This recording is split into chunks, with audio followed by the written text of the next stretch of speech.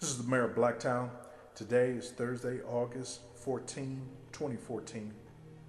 Uh, I'm making this video because I have not made any videos in a very long time, and that's for a lot of different reasons. The most obvious reason is because so much of what I've been preaching about the damage and the danger of feminism, uh, it should be obvious by now. I've made hundreds of videos that I've uploaded on YouTube, and I've had about seven YouTube channels, and they have all been deleted.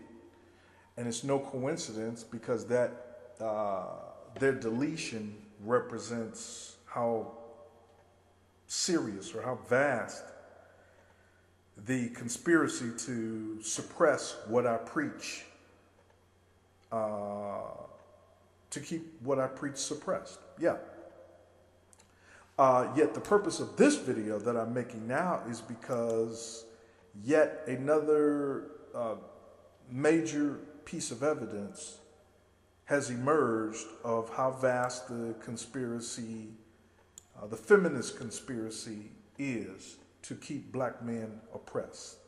Uh, and there it is right there. That is a screenshot from the New York Times, July 29, 2014 and the headline reads The Girls Obama Forgot.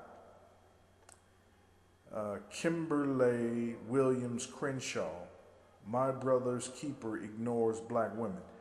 Uh, the article basically goes on to talk about how the initiative that President Obama started in February of 2014, a few months ago, uh, to confront and address the needs of black boys, black and Hispanic boys.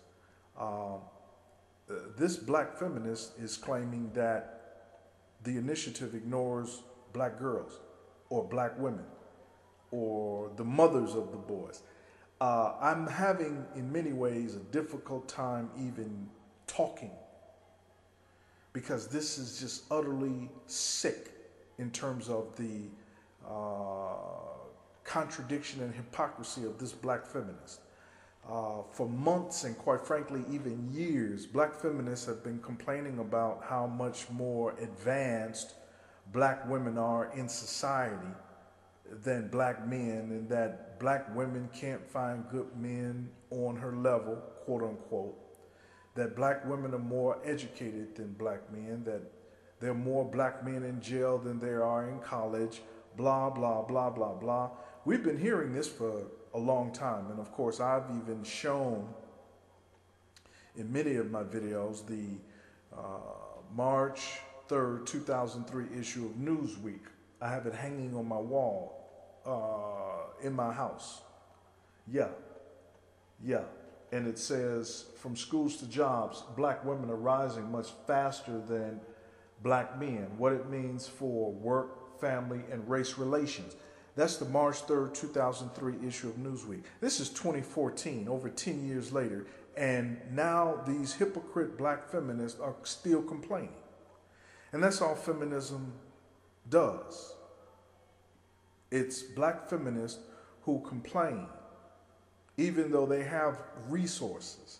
And now that it's finally time after 40 years of feminism, after 40 years of black women's needs or women's needs in general being addressed, now that it's time to address the needs of black boys, who we all see have many problems symbolized and epitomized by their sagging pants, and of course, how they're being shot, like Michael Brown was just shot in St. Louis, uh, what, a couple days ago, this past Saturday. Now that it's time for black boys to have their issues addressed, uh, the feminists are complaining.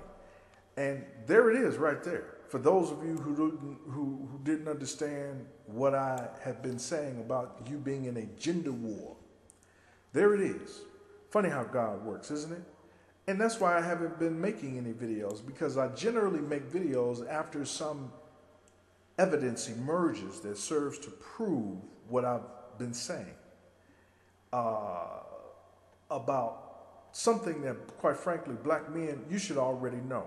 about by now how vast the feminist conspiracy is.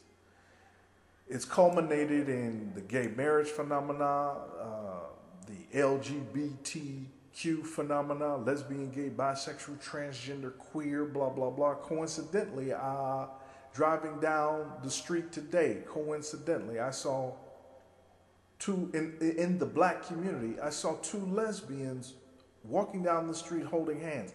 I don't even see black men walking down the street holding hands with black women.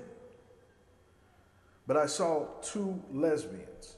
So help me God, I saw this. One of them was big. I guess she was the man.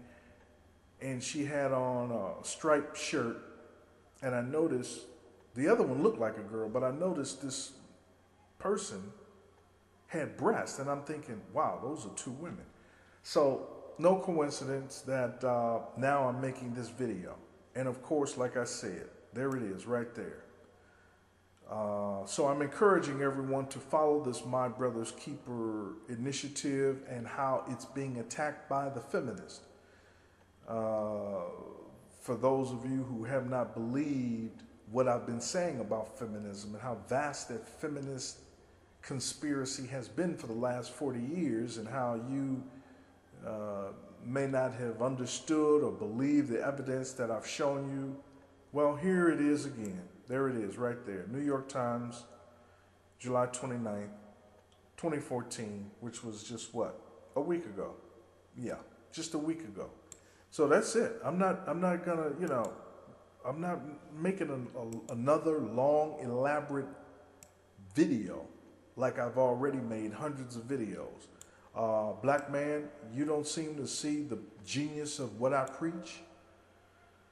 Well, you know, after in the Bible, according to that story of Moses and Pharaoh, after Pharaoh finally let the slaves go, after Moses uh, made that epic declaration of let my people go, and, and Pharaoh eventually let the people go, uh, guess what happened? Eventually, Pharaoh changed his mind and he decided he was going to slaughter the people. Yeah. Yeah. And that's kind of where you're at now, black man. Yeah. You don't realize how vast the cons- feminist conspiracy is and how serious uh, white racism is. Yeah. Racism and then sometimes it's not even racism. White people have a long history of violence among themselves. Yeah. I've already said this in hundreds of videos. You should see my genius by now. I should have thousands of supporters. And I'm at a point where I need my supporters. I need my supporters. I need you because tensions are rising.